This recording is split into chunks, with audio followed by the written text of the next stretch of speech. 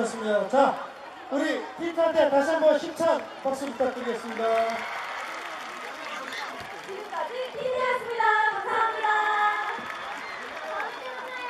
네, 아, 정말.